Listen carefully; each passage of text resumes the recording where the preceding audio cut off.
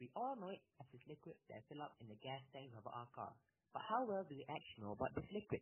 What I'm going to try to do in this video is explain how does fuel burn, what are the exhaust gases produced, and how these gases cause pollution. Note that all of this is important so that you have a better understanding of what you're actually contributing to the world the next time you start off that engine. Before I answer the three questions, must first explore the four strokes that a piston of an engine completes. During the intake stroke, the air-fuel mixture moves into the cylinder. The piston then moves upwards in the compression stroke, where the air-fuel mixture is compressed, causing it to superheat due to rapid increase in pressure.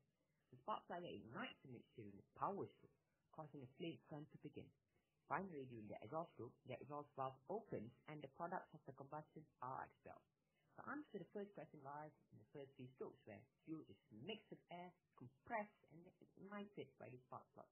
Ideally, hydrocarbons in the fuel will oxidize to water and carbon dioxide, while nitrogen in the mixture would pass through unaffected, though this is not actually the case. Besides water vapor and carbon dioxide, other gases are also produced. Hydrocarbons are produced when combustion does not take place at all due to either ignition, fuel delivery, or air induction problems. Carbon monoxide is a byproduct of incomplete combustion, while higher cylinder temperature and pressure causes nitrogen to react with oxygen, forming various oxides of nitrogen. The production of these gases, when lead to pollution.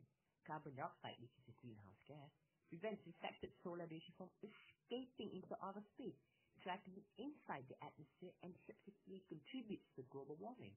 Carbon monoxide, on the other hand, poses a danger to human health because it competes with oxygen to bind hemoglobin and the red blood cells, thus reducing transported oxygen to the whole body. Oxide of also causes health problems. Nitrogen dioxide in particular inflames the lining of the lungs, thus reducing its immunity to infection. Thanks for watching